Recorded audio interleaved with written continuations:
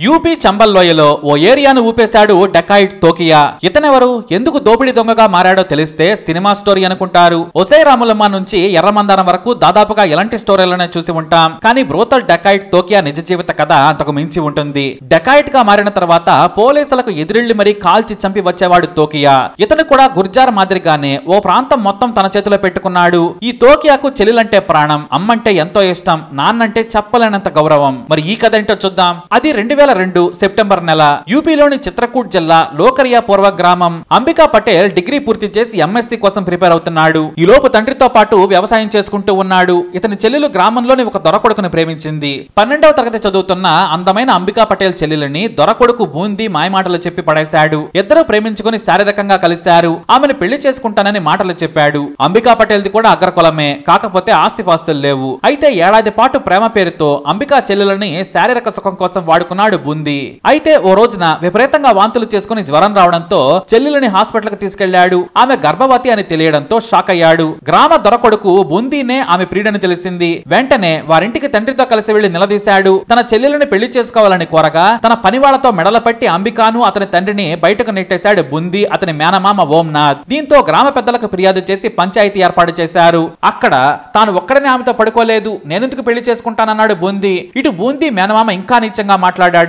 ఎవరితోనో కడుపు చేయించుకుంటే మావాడిని చేసుకోమంటావా? ఎంత ధైర్యం నీకని ఎకసకాలాడాడు. ఆ తర్వాత బూంది మీదకి వెళ్ళి అతని చొక్కా పట్టుకుని కొట్టాడు. దీంతో గ్రామంలో గందరగోళ పరిస్థితి నెలకొంది. చివరకు పెద్ద మనుషులు తమ వల్ల కాదన్నారు. ఆ తర్వాత అదే గ్రామానికి చెందిన బూందీ బంధువులు ఇతరులను కూడా తన చెల్లెల్ని పెళ్ళి చేసుకోవాలని కోరాడు అంబికా పటేల్. ప్రెగ్నెన్సీ తీయించానని మా చెల్లెల్ని మోసం చేశారని కాళ్ళు పట్టుకుని బ్రతిమలాడాడు. కానీ ఎవరూ కూడా పెళ్ళి చేసుకునేందుకు ముందుకు రాలేదు. పైగా బూందీ మేనమామ ఓన్నాథ్ అన్న మాటలు గ్రామంలో బలంగా నమ్మారు. దీంతో అంబికా పటేల్ కు కోపం వచ్చింది. తన చెల్లెల జీవితాన్ని పాడు చేసిందే కాక పరువు తీశారని రగిలిపోయాడు. ఎలాగైనా సరే బూందీని ఓంనాథ్ని చంపాలనుకున్నాడు అంబికా పటేల్. పదునైన కత్తి తన వెంటే ఉంచుకొని వారింటి ముందు కాపలా కాశాడు. ఓ రోజు రాత్రి సమయంలో బైక్ మీద బూందీని తీసుకుని వస్తున్నాడు ఓంనాథ్. అప్పుడే చీకట్లో వెళ్ళి బైక్ వెనుక కూర్చున్న బూందీని మెడపై నరికాడు అంబికా పటేల్. ఆ తర్వాత అదే కత్తితో ఓంనాథ్ మెడ మీద దాడి చేశాడు. అప్పుడే ఓంనాథ్ కేకలు వేయడంతో గ్రామస్తులు బయటకొచ్చారు. ఆ తర్వాత ప్రాణ భయంతో అంబికా పటేల్ లోయలోకి పారిపోయాడు. అయితే బూందీ స్పాట్లోనే చనిపోయాడు. కానీ అతని మేనమామ ఓంనాథ్ ప్రాణాలతో బయటపడ్డాడు. ఆ తర్వాత చంబల్ లోయలోకి పారిపోయిన అంబికా పటేల్ ఆకలితో అలమటిస్తుంటే దాదువా గ్యాంగ్ చేరదీసింది. అప్పుడే దాదువా చెప్పినట్లు వినడం మొదలు పెట్టాడు దాదువా పేరుకు గజదొంగ కానీ కాస్త సెన్సిటివ్ పర్సన్ అంబికా పటేల్ కథ విని ప్రతీకారం తీర్చుకో అన్నాడు. అలా దాదువా దగ్గర తుపాకీ కాల్చడం నుంచి గుర్రపు స్వారీ బైక్ రైడింగ్ నేర్చుకున్నాడు. అయితే అప్పటికే దాదువా గ్యాంగ్లో అంబికా పటేల్ చేరాడనే వార్త గ్రామంతో పాటు చుట్టుపక్కల కూడా తెలిసిపోయింది. దీంతో అతని ఇంటి మీద నిఘా పెట్టేందుకు ఓంనాథ్ అంబికా పటేల్ స్నేహితులకు డబ్బిచ్చి ఇన్ఫార్మల్ చేసుకున్నాడు. సరిగ్గా దాదువా గ్యాంగ్లో చేరిన రెండు నెలలకు ఓ రోజున తన తల్లిని చూసేందుకు అర్ధరాత్రి ఒంటరిగా వచ్చాడు. తన గ్యాంగ్తో కాకుండా సాధారణంగా ఇంటికి వచ్చాడు. అతను అలా ఇంట్లోకి వెళ్ళగానే కులువా నిషద్ అనే యువకుడు పోలీసులకు సమాచారం ఇచ్చాడు. అది కూడా ఓంనాథ్ ఆదేశాలతో. అరగంటలోనే ముప్పై మంది పోలీసులు ఇంటిని చుట్టుముట్టేశారు. బయటకు రావాలని ఆదేశించడంతో కుటుంబ సభ్యులంతా కూడా ఇంటి బయటకు వచ్చి పోలీసుల ముందు నిలబడ్డారు. తమ కొడుకు రాలేదని ఇంట్లో ఎవరూ లేరని చెప్పారు. అయితే ఇంటి వెనుక పొలాల్లో నుంచి పారిపోతూ కనిపించడంతో అతని మీద కాల్పులు జరిపారు. త్రుటిలో అక్కడ నుంచి తప్పించుకున్నాడు.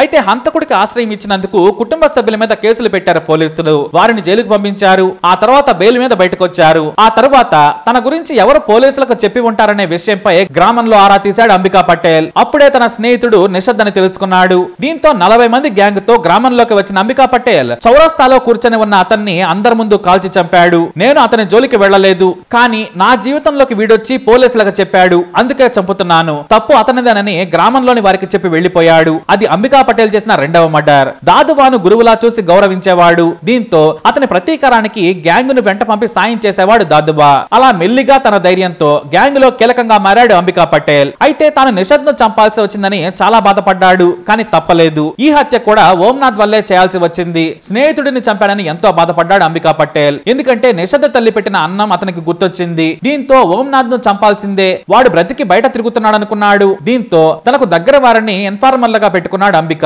అలా పదహారు జూలై రెండు వేల ఇరవై మూడున తన ఇంట్లోనే ఉన్నాడని సమాచారం తెలుసుకున్నాడు. అది కూడా బగియా పూర్వాలో. ఈ గొడవల తర్వాత తన గ్రామానికి షిఫ్ట్ అయిపోయాడు ఓంనాథ్. అర్ధరాత్రి ఓంనాథ్ ఇంటిని నలభై మందితో చుట్టుముట్టాడు అంబిక. మారు మాట్లాడకుండా అలజడి లేకుండా పెట్రోల్ను అతని ఇంటి మీద పోసి నిప్పంటించి వెళ్ళిపోయాడు అయితే ఈ ఘటనలో ఓంనాథ్ భార్య పిల్లలు తల్లి తమ్ముడు చెల్లెలు సజీవ దహనమయ్యారు. ఒక ఓంనాథ్ తప్ప. ఈసారి కూడా ప్రాణాలతో బయటపడ్డాడు. సరిగ్గా ఇల్లు తగలబెడుతుంటే కాలిన గాయాలతో బయటకు దూకి పారిపోయాడు ఓంనాథ్. కానీ నిద్రలో ఉన్న వారంతా చనిపోయారు. ఈ ఘటన యావత్ యూపీని షేక్ చేసింది. ఇక ఈ ఓంనాథ్ బీఎస్పీకి దగ్గర నాయకుడు. స్థానిక బీఎస్పీ ఎమ్మెల్యే గెలుపులో ఓంనాథ్ కీలక పాత్ర పోషించాడు. డకాయిట్లు ఊరి మీద పడి చంపుతుంటే ఏం చేస్తున్నారని ప్రతిపక్షాలు కూడా దుమ్మెత్తిపోశాయి. అయితే ఎంత జరిగినా కూడా దాదుబా అతని శిష్యుడికి మద్దతుగా నిలిచాడు. ఈ ఘటన తర్వాత అందరూ అంబికా పటేల్ను తోకియా అని పిలవడం మొదలు పెట్టారు దాదువా గ్యాంగ్ ఉన్నా కూడా చాలా మంది తోకియా గ్యాంగ్ అని పిలిచేవారు దాదువాకు పూర్తి విరుద్ధం ఈ తోకియా. తనకు దోపిడీతో డబ్బులు వస్తే చాలనుకునేవాడు దాదువా. కానీ తోకియా వచ్చాక హత్యలు చాలా సులభమైపోయాయి. ఎంతలా అంటే తమ గ్యాంగ్ మనిషిని పట్టుకొని విచక్షణ రహితంగా కొట్టి జైల్లో వేశారని తెలియడంతో ఏకంగా అర్ధరాత్రి జైలు లోపలికి వెళ్ళి ఇద్దరు పోలీసులను కాల్చి చంపి వచ్చాడు తోకియా. ఇంతలా దుందుడుకుగా ఉండేవాడు. చుట్టూ ఉన్న ప్రాంతాల్లో ఎంతో మందిని న్యాయం పేరుతో పిలిచి హత్యలు చేశాడు. గ్రామాల్లో సెటిల్మెంట్లు చేసేవాడు. ఎవరైనా సరే డబ్బున్నవాడు అన్యాయం చేస్తున్నాడంటే తోకియాకు ఫిర్యాదు చేసేవారు. అలా ఒకవైపు దోపిడీలు హత్యలతో పాటు గ్రామాల్లో కూడా పట్టు సాధించి సర్పంచ్లను మండల పరిషత్ సభ్యులను నిలబెట్టేవాడు. అవసరమైతే సమాజ్వాద్ పార్టీ తరపున నిలబెట్టేవాడు. రెండు వేల నాలుగులో సత్పాల్ సింగ్ అనే ఫతేగంజ్ పోలీస్ అధికారి డ్యూటీ దిగి తన బంధువుల ఇంటికి వెళ్ళాడు. అప్పుడే తోకియాగాం గ్రామంలోకి వచ్చింది. ఉన్నతాధికారులకు సమాచారం ఇవ్వడంతో గంటలో వంద మంది పోలీసులు చుట్టుముట్టేశారు. అయితే తోకియా చాలా డిఫరెంట్. వారికంటే ముందే కాల్పులు మొదలుపెట్టి ఎదురుదాడి చేసి పారిపోయాడు. ఈ ఘటనలో ఎవరూ గాయపడలేదు. అయితే ఆ మరునాడే ఓంనాథ్ కార్వి వస్తున్నాడని తెలుసుకున్నాడు తోకియా. అంబికా పటేల్ అనే పేరు మరిచిపోయి అంతా తోకియా అనే పిలవడం మొదలు పెట్టారు ఓంనాథ్ కోర్టు కేసుకు హాజరవుతున్నాడు. అయితే గ్యాంగ్తో కాకుండా సామాన్యుడిలా సంచిలో బాంబులు వేసుకుని వెళ్ళి కాపు కాశాడు తోకియా. జనారణ్యంలోకి తోకియా వస్తాడని ఎవ్వరూ ఊహించలేదు. కానీ ఓంనాథ్ కోర్టులోకి వెళ్తుండగా బాంబులు విసిరాడు తోకియా. అప్పుడే ఓ కారు అడ్డు రావడంతో ఈసారి కూడా ఓంనాథ్ ప్రాణాలతో బయటపడ్డాడు. అయితే దూరంగా తన మనుషులను కాపలా పెట్టిన తోకియా బైక్ మీద వేగంగా పారిపోయాడు. ఈ ఘటన కూడా యూపీని షేక్ చేసింది. అయితే రెండు వేల ఏడులో మాయావతి సర్కార్ ఏర్పడింది. తమ పార్టీ నేతలు తోకియా గురించి చెప్పారు. అతని అరాచకాలు భరించలేకున్నాం ఎస్పీకి మద్దతు ఇస్తున్నాడని చెప్పడంతో అప్పటికే ఎన్కౌంటర్ స్పెషలిస్ట్గా ఉన్న నేటి ఎస్టీఎఫ్ చీఫ్ ఐపీఏ అమితాబ్ యశ్ను పిలిపించారు మాయావతి. ఆ తోకియా గ్యాంగ్ను క్లీన్ చేయమని అమితాబ్ను ఆదేశించారు ఆమె. మరి అమితాబ్ స్కెచ్ ఎలా ఉంటుందో మీకు తెలిసిందే కదా? ఏకంగా వంద మంది ఎస్టీఎఫ్ టీమ్తో లోయలోకి వెళ్ళి మరి దాదువా గ్యాంగ్ను ట్రాప్ చేశారు. ఈ మెరుపు దాడిలో గ్యాంగ్లోని ఇరవై మంది సభ్యులతో పాటు తోకియా గురువు దాదువా కూడా హతమయ్యాడు. కానీ ఈ ఆపరేషన్లో కూడా తోకియా తప్పించుకున్నాడు. అంతేకాదు ఆ తర్వాత లోయలో ఉన్న చాలా గ్యాంగ్స్ని కూడా అమితాబ్ క్లీన్ చేశారు. కానీ ఒక్క తోకియాను తప్ప తన బాస్ను చంపిన పోలీసులపై పగ పెంచుకున్న తోకియా పోలీసులను ట్రాప్ చేసేందుకు తప్పుడు సమాచారం ఇచ్చాడు. తోకియా వస్తున్నాడని తెలుసుకున్న ఎస్టీఎఫ్ టీం ఓ గ్రామంలోకి వస్తుండగా ఓ బిల్డింగ్ పై రాత్రి సమయంలో ఉన్న తోకియా ఏకంగా పోలీసులపై బాంబులు విసిరి నానా కంగాళి చేశాడు. ఈ ఘటనలో ఆరుగురు ఎస్టీఎఫ్ పోలీసులు చనిపోయారు. డజన్ మంది తీవ్రంగా గాయపడ్డారు. దాదువాను చంపినందుకు ఇది ప్రతీకారమని ప్రకటించి పోలీసులను రెచ్చగొట్టాడు. మీరు నా జోలికి వస్తే వదిలిపెట్టనని కూడా చెప్పాడు. ఇంతలో మాయావతి సర్ పోయి ఎస్పీ వచ్చింది. ఆ తర్వాత తన తల్లి పియారియా దేవిని నరైని నియోజకవర్గం నుంచి ఎమ్మెల్యేగా నిలబెట్టాడు. అయినా సరే ఆమె ఊడిపోయింది. ఆ తర్వాత తన మేనత్తను మాత్రం బ్లాక్ చీఫ్గా గెలిపించుకున్నాడు. అక్కడి నుంచి తోకియా హవా గ్రామాలను దాటి మండలాలకు చేరింది. అయితే మళ్ళీ మాయావతి సీఎం కాగానే నాటి DGP Vikram Singh encounter specialist Amitabh ఎస్లను పిలిచి తోకియాని వేసేయమని మళ్ళీ ఆదేశాలు ఇచ్చారు. అది కూడా నెలలోపే చంపేయాలన్నారు. అయితే తోకియా బాస్ దాదువాను చంపడం వారికి సులువైంది కానీ తోకియాను చంపడం మాత్రం కుదరలేదు. ఎందుకంటే అప్పటికే దాదువా వయసు అరవై ఏళ్ళు ఇరవై ఏళ్ళ నుంచి లీడర్గా ఉంటూ అలసిపోయాడు. తోకే వయసు ముప్పై ఆరు. పైగా చదువుకున్నాడు. హిందీతో పాటు ఇంగ్లీష్ కూడా అనర్గళంగా మాట్లాడగలడు రాయగలడు. అతను తన తెలివితో తన నెక్స్ట్ స్టెప్ ఏంటనేది గ్యాంగ్కు కూడా తెలియనిచ్చేవాడు కాదు. ఎవరిని బయటకు వెళ్ళకుండా బయట వారు వచ్చి కలవకుండా జాగ్రత్తలు తీసుకున్నాడు. అయినా అమితాబ్ యశ్ భారీగా ఇన్ఫార్మర్లను ఏర్పాటు చేసుకున్నారు. ఎనిమిది నెలల పాటు వెతికి వెతికి పోలీసులు రెండు వేల ఎనిమిది ఆగస్టులో